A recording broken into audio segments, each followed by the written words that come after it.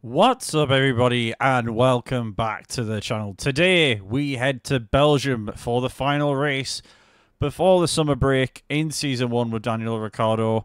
And if you missed out on the last episode, well, you'll have missed out on me making a bit of a clanger in terms of our fuel management. We ended up ruining our race in Hungary and finishing in 19th. And as you can see, we had a run of about four races where we got points. We even managed to nab a podium at Silverstone, but unfortunately we weren't able to continue that good form on and we finished in 19th in Hungary. So today we head to Belgium to a sprint weekend, of course, to try and get some more points on the board and help RB Visa Cash App or whatever you want to call them these days uh, get up the ladder of the constructors. Obviously, at the moment, we're currently chasing down Aston Martin a big, big difference in, in between points between us and Aston Martin. It's going to be very difficult to catch them. But I do think we can fight with them on the track. So we'll see what happens over the rest of the season. But we do have something very interesting. We now have a meeting with another team.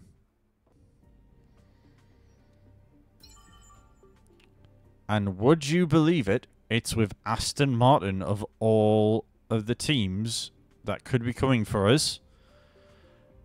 And you know what? I'm going to decline. So there we go, folks. Then that is the secret meeting done and dusted. Our main rivals at the moment on the track are trying to sign us. I don't know who would would have replaced. You would imagine Stroll, wouldn't you? Really, but if you can see, we were fighting with Stroll, and maybe going out of that rivalry has put us in in the crosshairs of Aston Martin to get signed. And at the minute, we're in the middle of a rivalry with Gasly and with our teammates. So we'll have to see how this progresses once we get through Belgium. So let's head to the Belgian Grand Prix and see where we're going to start on the sprint race. Okay, so I made a bit of a mistake. I thought it was a sprint weekend in Belgium, but it doesn't look like it is. It is just a normal race weekend. So I'm going to go do the practices, but let's get into qualifying and see where we start. Here we go then, folks. This is the start of the qualifying lap. Let's see where we end up on the grid for Sunday's race.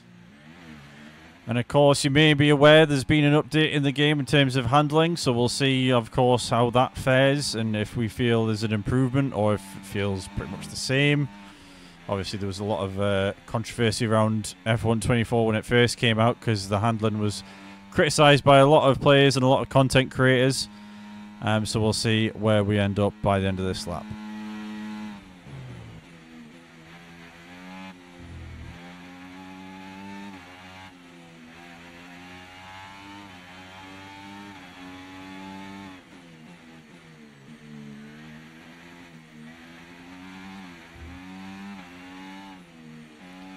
See, that corner is usually one I struggle with. Going downhill, long corner. It wasn't too bad there.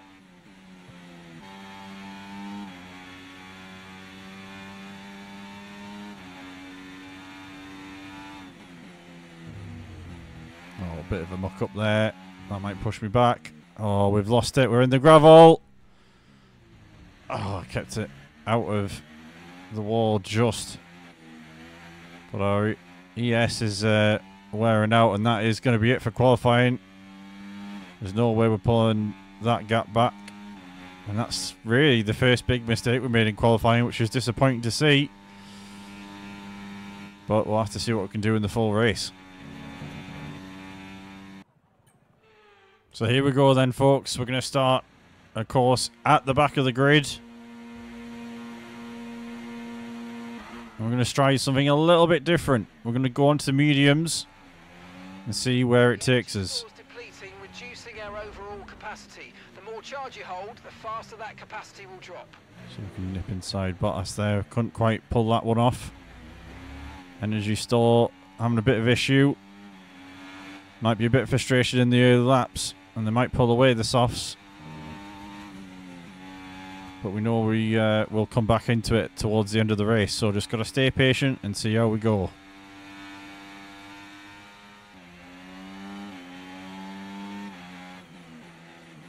Looking down the inside of Bottas on this long corner. And we managed to make the move stick, so good overtaking the first lap. And we've got his teammate Zhou up next. And coming up to the part of the, the lap where we mucked up in qualifying, so hopefully not going to make a similar mistake again. So far, so good.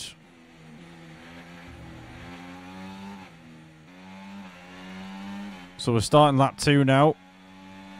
DRS enabled. I'm trying to keep ourselves out of trouble, but we clipped the wall, trying to evade those two in front of us. Charge is high. Let's use that overtake button. Hopefully that hasn't caused any damage to the car. Doesn't look like it has.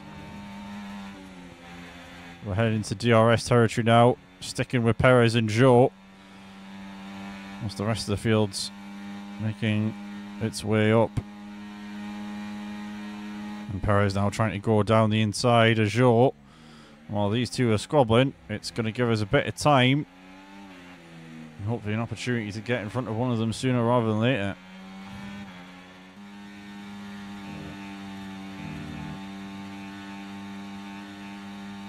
Looking to go down the inside on the chicane on Zhou. Nice and clean, and we did it. We move up into 18th. Now it's Perez up the road, but he's just out of DRS. Let's see if we can get in there by the time. We might be there just by the time we get to the next detection point. Which is good to see. Not quick progress, but we're still making progress at least.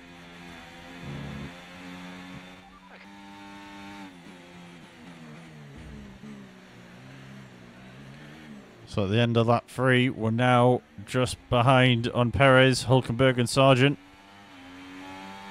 The car behind we set our fastest lap so far. a lap. Well done.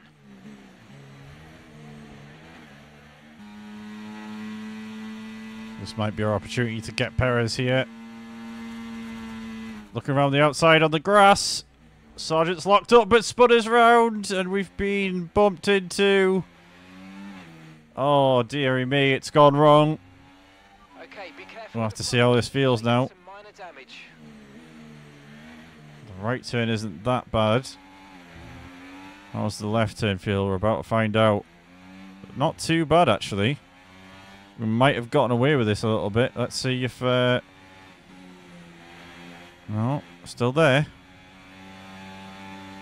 Still there. Okay. Okay, We might be alright. Easy on the car. We can't sustain this level of damage.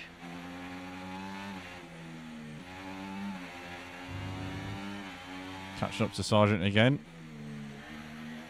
Thought we were going to be alright, but I didn't think Sargeant was going to lock up in front of Perez. Should have maybe stayed a bit more patient there. Going down the inside on the chicane again. He's turning into us there. Don't really know where we're expected to go. But we get past them. Move up into 17th.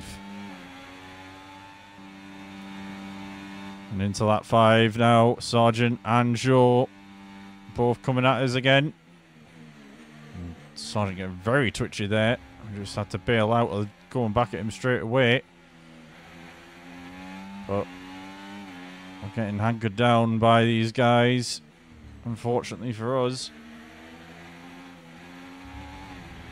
Got to keep pushing and hopefully something will come our way. And hopefully when we go on the softs, there'll be a bit of delta for us to work with. But there's going to be a few pit stops coming up, I think, in the next few laps. So just got to stay patient and take our opportunities when they come.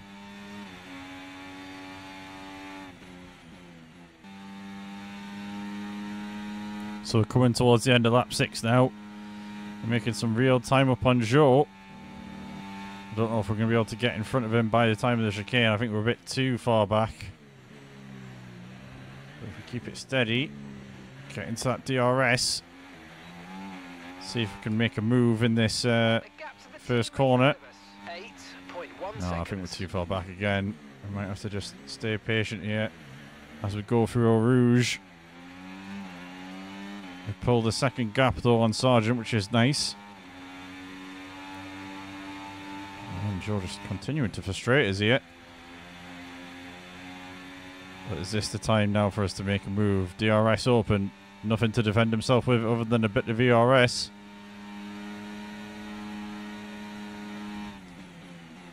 And we get past very nicely. Now it's two and a half seconds up to Perez and Court.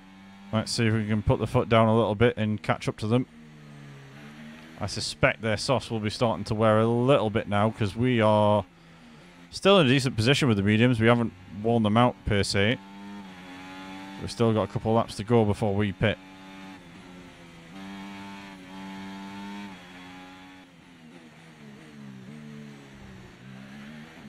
So Magnussen's actually coming for the pit stop, so we might be starting to see a few of those pit stops start to happen. Coming in this lap.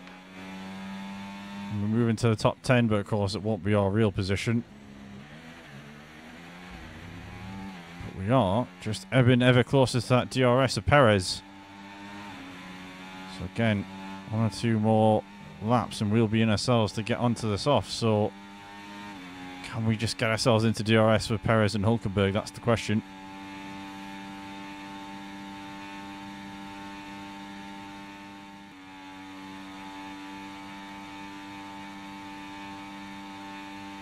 So they're telling us to pit now, but I don't think it's the right call. I think we need to stay out because I think Perez and Co are coming in now. And I was right. We get the DRS there, so now we've got to try and put the hammer down on this pit. For this in lap to the pit, I should say. And hopefully we can keep our noses in front of Perez by the time we come out the pit stop. So let's get this lap done and see how the pit stop looks.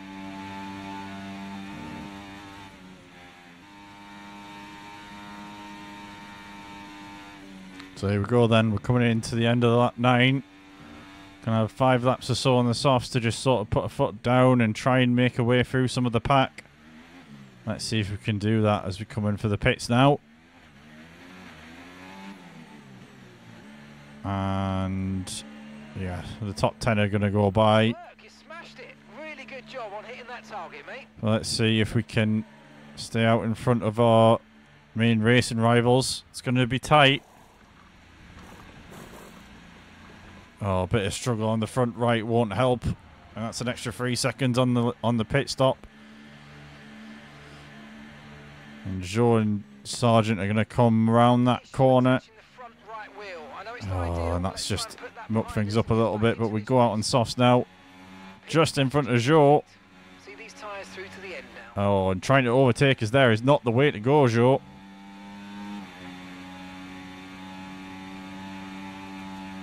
And thankfully, our tyres are pretty warm, but we've been left like sitting ducks there from that pit stop running long. I think we'd have been where we would have wanted it to be if uh, that pit stop had been on time.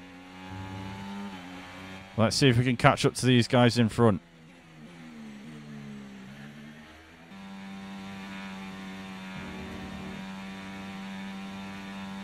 So we've come to the end of lap 10. And we are less than two seconds back now on Gasly, So I think there's still some places to fight for. Whether we can get in front of everybody, I don't know. We've just hit a purple sector 3 though. So we might be on for a good lap time here. Gotta try and put a, a good lap together if we can though.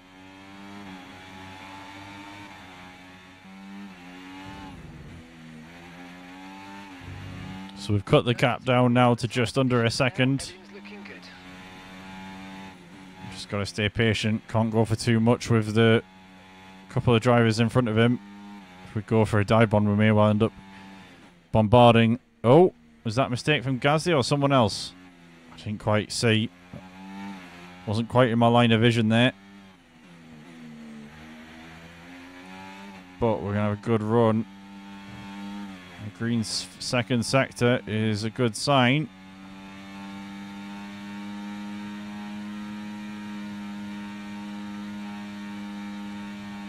Using all the ERS to try and catch up to him here. Only three tenths back now. Walking down the inside. Uh, I don't. Wasn't quite there. Pulled out before we had a chance to try and go for it. Put in our fastest lap time yet. Going down that first corner. Wanting to make a move. Going to be in DRS for this long straight here. Again, another long run at Gasly, but we've got a bit more pace this time. Oh, we can't find a way past. Not the easiest place to make an overtake. He's got to heads down again and, and try again on this corner. Get the DRS though, he's going to have it as well, of course. I'm pretty much in the same position as last time, so, so we can go in down the inside. We get in front of Gasly there. I thought we were going to lose control, but we managed to somehow make it work. And let's see what the last couple of laps brings.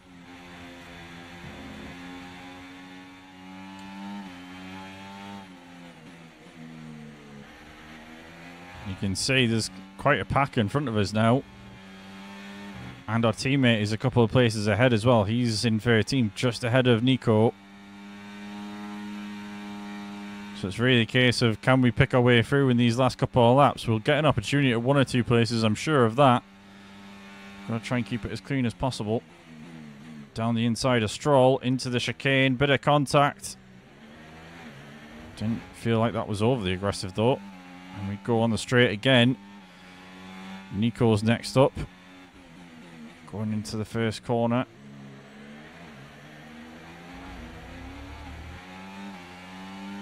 Think it's the other Alpine of Ocon who's leading this pack. Just going up Eau Rouge there in the view. Bit of a snap there at the bottom of that hill. And now trying to make a move on Hulkenberg. Help our teammate out. back out of that one. Try not to be too overly aggressive here and make a mistake. As you can see, even just that little bit of a wobble on that corner brings Stroll and Gasly right back into it.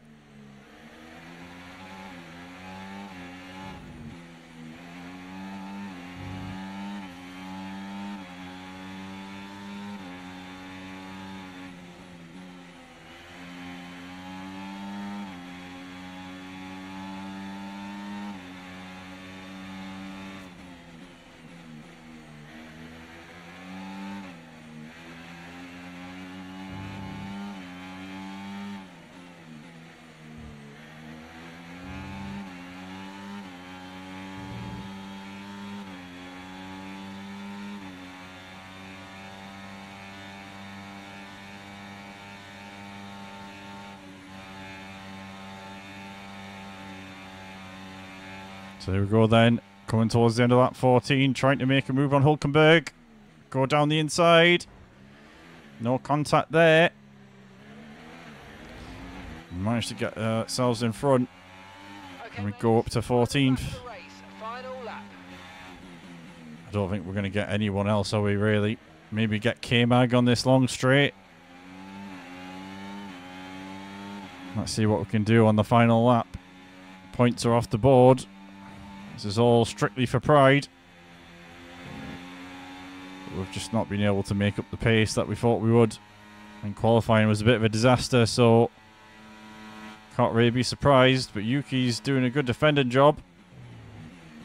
He holds off K-Mag. We're trying to find uh, a way past, but Yuki slams the door shut. Again, don't want to be bumping into our teammates here. Don't want to be risking any sort of breakdown in a teammates relationship. Don't worry about Hulkenberg right now, though. He's getting some real timers right now.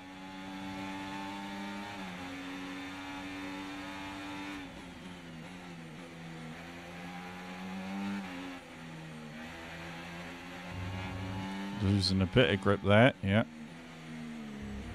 the tyres are telling me, and that's what the telemetry is telling me as well. So here we go then, long straight. Can we make anything up here? Just going to drain the ERS for all it's worth. Is there a move to be made on our teammate? Or is it too much to ask? Oh, K-Mag, don't turn into me. K-Mag turned into me.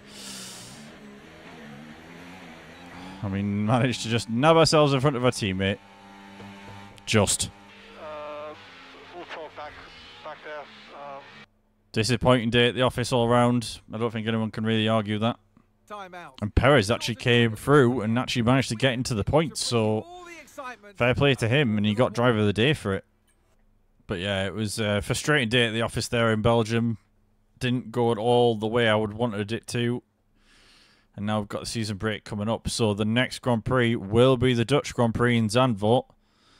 Again, not another another track where we might struggle to get some overtakes. It is an old school track over there in the Netherlands, so we'll see how it goes. But yeah, fingers crossed we can turn around this sort of silly mistakes and cut out the uh, yeah the rubbish driving we've been seeing recently um, over in Hungary and and in Belgium. But yeah, maybe we need a bit of a season's break and we'll we'll see how it goes.